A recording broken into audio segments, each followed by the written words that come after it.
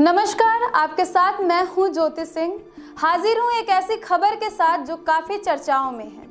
पूरे देश में आजकल कंगना रनौत के मुद्दे ने हाय तौबा मचा रखी है।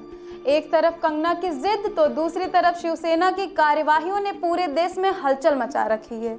देश में कुछ लोग कंगना रनौत को सही मान रहे हैं तो कुछ लोग कह रहे हैं कि जिस तरह से कंगना रनौत बीजेपी के मुद्दों को लेकर के आगे बढ़ रही हैं और जिस तरह से बीजेपी उनको आगे करके अपने सियासत खेल रही है, उस पर कंगना के ऊपर जो कार्यवाही हुई है, उसे पूरी तरह से जायज़ और सही ठहरा रहे हैं। बता दें कि कंगना एक विवादास्पद अभिनेत्री रह चुकी हैं। कभी उनका नाम आदित्य पंचोली के साथ जुड़ा, फिर विवाद हुआ। फिर आगे कंगना रनौत ने एक से बढ़कर एक फ़िल्में अपने दम पर हिट करवाई, जिसके बदौलत बॉलीवुड में ही नहीं, बल्कि अभिनय की दुनिया में भी उनका नाम ऊंचाइयों पर पहुँचने लगा।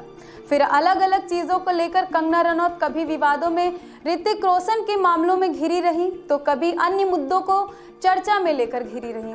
अन्य मुद्दे यानी बीफ जैसे संवेदनशील मुद्दे पर कंगना रनौत ने खुलकर अपनी राय रखी थी कि मुझे बीफ खाना पसंद है, जबकि उनके घर वाले कतई नहीं चाहते थे कि कंगना इस तरह की हरकतें करें। जैसा कि हमने बताया कि कंगना एक विवादास्पद अभिनेत्री रही हैं, हाल ही में सुशांत सिंह राजपूत के आत्महत्या के मामले जिस तरह से दिन पे दिन नए नए दाव पेंच में फंसते जा रहे हैं नए नए खुलासे हो रहे हैं। ड्रग्स कनेक्शन भी जुड़ चुका है। जिस तरह से रिया चक्रवर्ती को परेशान किया गया मीडिया चैनलों के द्वारा, उसके खिलाफ भी देश में उबाल देखने को मिल रहा है। बॉलीवुड का वो धड़ा जो खुल करके रिया के मामले में कुछ भी कहने को तैयार नहीं था, अब वो भी सतह पर आ गया है और अपनी राय शुमारी कर रहा है और रिया को कहीं ना कहीं जायज़ ठहरा रहा है। इसी बीच कंगना रनौत के आक्रामक रवैये के वजह से बातें लगातार बिगड़ते चली गई। कंगना रनौत मुंबई से बाहर थी। उन्होंने मराठा प्राइड को लेकर एक से बढ़कर एक विवादास्पद बयान दिए। हालाँकि कंगना मराठा नहीं है, यानी मराठी नहीं है, कंगना हिमाचल की रहने वाली हैं। कंगना ने झांसी की रानी का किरदार निभाया और ये ऐतिहासिक किरदार था। उस किरदार में कंगना ऐसे रची बसी कि उन्हें एहसास होने लगा कि वो भी झांसी की रानी है। और वो भी कुछ उसी तरह से कर सकती हैं, जिस तरह से झांसी की रानी ने अंजाम दिया था अंग्रेज़ों के खिलाफ अपने कर्म को। लेकिन कंगना शायद ये भूल गई कि रियल लाइफ और रियल लाइफ में बहुत अंतर होता है। कंगना किसके हाथों की कठपुतली बनी हुई है, ये कयास लगाए जा रहे हैं और हाल फ़िलहाल इस पूरे मामले में करड़ी सेना का समर्थन हो रहा है। चाहे बैकडोर से बीजेपी का सपोर्ट रहा हो, कंगना को लेकर कंगना के ऊपर बीजेपी समर्थित या बीजेपी एजेंडा को आगे बढ़ाने के जो आरोप लगते रहे हैं कहीं ना कहीं ये बात सत्य साबित हो रही है।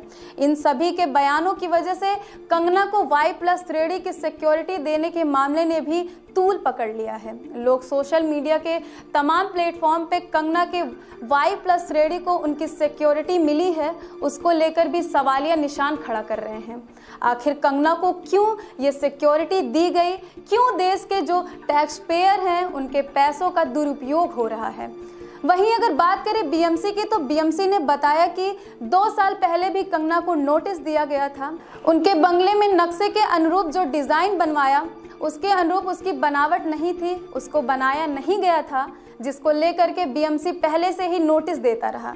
बताया जाता है कि तब भी कंगना ने अदालत की शरण ली थी। बता दें कि बुधवार को जब बीएमसी ने कंगना रनौत के सपने का महल या यूँ कहें कि उनके खूबसूरत आशियाने को एक पल में बुलडोजर के द्वारा गिरा दिया तो कंगना का एक अलग ही अवतार देखने को मिला और गुस्से से हुई लाल पीली कंगना ने उद्धव सरकार के लिए तू मेरा क्या उखाड़ लेगा जैसे अपशब्द भाषा का प्रयोग किया।